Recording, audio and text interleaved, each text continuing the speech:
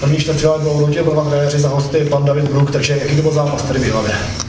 No tak v hlavě jako každý jiný, no, strašně těžký a, a domácí samozřejmě byli, byli, byli lepší v tom zápase a, a my máme ambici od tohle zápasu jim to hodně znepříjemnit a bojovat o každý půk a, a e, jsme z toho zápasu zklamaný v tom, že jsme prostě selhali v přesilových hrách, kdy jsme se nechali dát dvě branky a, a v tomhle jsou domácí strašně silní a měli jsme s tím obrovský problémy, takže máme do zítra o čem přemýšlet.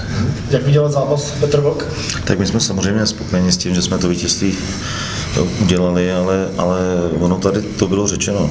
Super se to opravdu v každém tom střídání, který se tam odehrál od první do poslední minuty, se to snažil znepříjemňovat a samozřejmě proti takovéhle urputnosti se hraje špatně a o to víc eh, si cením toho, že to ty naši kluci zvládli. Jo. Že, eh, samozřejmě ty dva, ty dva góly v tom oslabení, to je bonus, ale, ale bylo tam i proti nám, tam bylo spousta, spousta příležitostí, který pochytal Golman a který pramenili z nějakých takových chvilkových nedůsledností, který ten soupeř tak dobře bruslí a je šikovný na té hokejce, tak e, za mu, že, že je neproměněn, no, ale samozřejmě spokojenost s vítězstvím.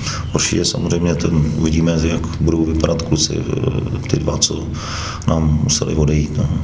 Mm, to je právě Kuba Suchánek a Braštovi. Jasný. Dobrá, pánové otázky? Pokud nejsou, tak se těšit zítra. Díky moc.